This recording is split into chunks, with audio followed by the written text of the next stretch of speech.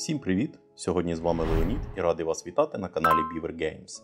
Сьогодні мова піде про продовження гри, яка у багатьох у серці це гра Мачі Коро, а саме її друга частина Мачі Коро 2 Наші міста. Це гра від японського автора настільних ігор Масао Суганума. Маю надію, що я правильно назвав його ім'я. Попереджаю одразу, що я не грав першу частину і порівняльного аналізу точно не буде. Отож, наші міста, за словами автора, зазнали чималих змін, як за ігровим процесом, так і у нових властивостях карт. Загалом ігровий процес тут на диво простий, але досить стратегічний. На початку гри кожен гравець отримає лише пам'ятку і 5 монет, а далі все залежить від вас, як побудуєте стратегію і економіку, так і будете мати. Після отримання стартових ресурсів гравці мають розіграти початкову фазу будівництво. Це умовний старт для розвитку вашого міста. Так, так, адже по сеттингу гри ми створюватимемо свої унікальні міста за допомогою різних карт підприємств, які мають свої окремі властивості. Але про це трішки згодом. Тож загалом ця фаза триватиме 3 раунди, де вам за всього 5 монет треба придбати щонайбільше 3 стартових підприємства. І якщо поглянути на ринок будівель, ми побачимо різні доступні нам підприємства, і ви, сплачуючи зазначену на карті ціну, можете її придбати і розмістити у вашій ігровій зоні. Коли гравці розживуться стартовими підприємствами, починається гра.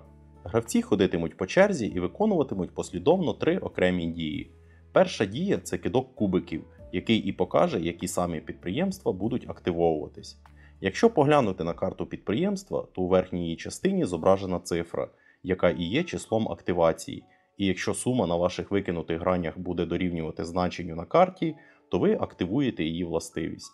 Друга фаза це прибуток, який усі гравці будуть отримувати зі своїх активованих карт, які відповідають значенню викинутих кубиків активного гравця.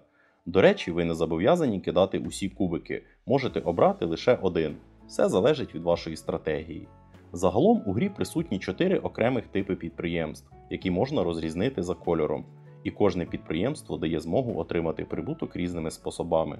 От, до прикладу, стадіон активовується лише у ваш хід, а бургерна дозволяє поцупити дві монети у активного гравця. Деякі карти, як от квітковий сад, дають монети навпаки з банку, а бізнес-центр взагалі може обміняти два різних підприємства між двома різними гравцями. Тож властивості карт напрочуд варіативні.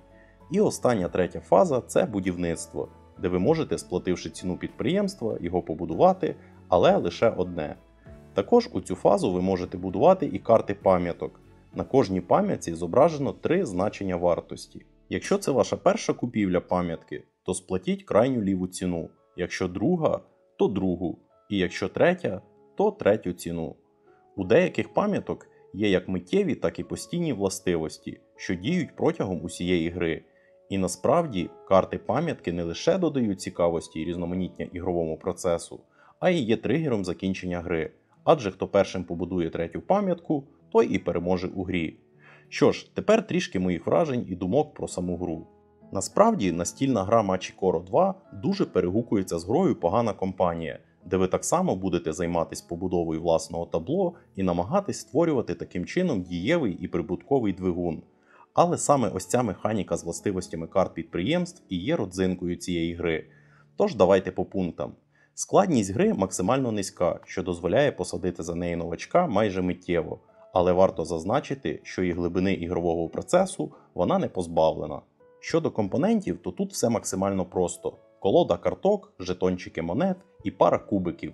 Не розгуляєшся, так би мовити.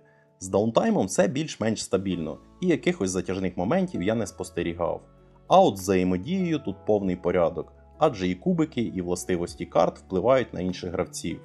Далі питання реграваності. Все ж рано чи пізно вас наздожене той момент, коли ви побачите усі карти у грі і випробуєте усі можливі стратегії. Але до того часу гра має вам що запропонувати. І наостанок про недоліки. Для мене стало досить дивним, для чого у цій грі така неспівставно велика коробка, адже усі компоненти можна було умістити у коробку в половину меншу. І десь тут тихо плаче у куточку колекціонер. Другий мінус це, звичайно ж, рандом, і особливо критично він відчувається у першій половині партії, коли ваше табло з карт досить ріденьке. І третій мінус це взагалі-то і не мінус, але думаю, варто це зазначити. А саме те, що гра неймовірно лайтова, тобто я не радив би її затятим гікам. А тепер про солоденьке, а точніше ті моменти, які мені сподобались. Перш за все, це ось це неймовірне поєднання рандому і стратегії. Потрібно вміло балансувати і менеджерити ресурси, щоб не отримати великої шкоди від дії кубиків.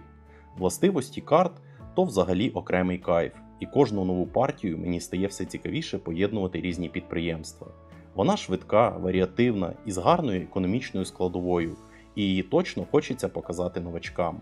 Чи радив би я звернути вашу увагу на цю гру? Однозначно так. Чи радив би я її гікам? Скоріше нічим так. Але це, звісно ж таки, лише моє суб'єктивне бачення.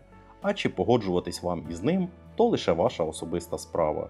І підсумовуючи, можу з певненістю поставити цій грі оцінку 7,2 бали, що в перспективі має усі шанси вирости, враховуючи той факт, що гра розкладається мною підозріло частенько, а це пряме свідчення того, що гра достойна. Тож на сьогодні у мене все. Кому стало в нагоді це відео, буду вдячний за вподобайку та підписку. Скоро побачимось. Па-па!